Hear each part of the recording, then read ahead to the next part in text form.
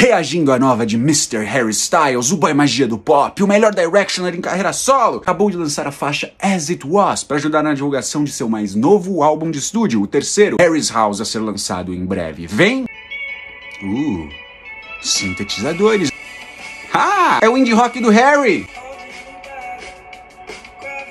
Upbeat, me lembra algo como Shy Away do Twin One Pilots, mais mellow, mais tristonho.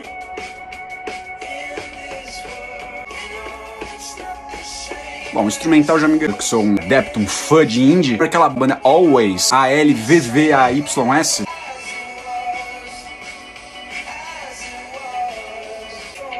Guitarrinha. Lembrando que o primeiro single do último álbum do Harry foi Lights Up, que também não tinha uma cara muito grande de single, né?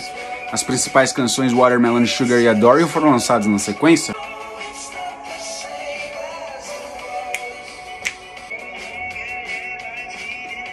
Dá pra escutar todos os instrumentos, isso é uma das coisas que eu mais curto na carreira solo do nosso estiloso.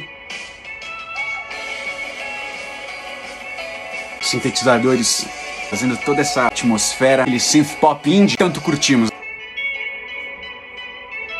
Então é isso, galera. Gostosinho, muito bem feito. Não sei se tem a cara de lead single, mas o Lights Up do Fine Line também não tinha, então tá tudo certo. Vou escutar bastante essa canção. Mas e vocês? Estão empolgados para o novo álbum de Mr. Harry Styles, Harry's House? Curtiram As It Was? O que, que vocês acharam? Não esquece de comentar, mandar pros amigos, curtir, beleza? Aquele abraço da Clave!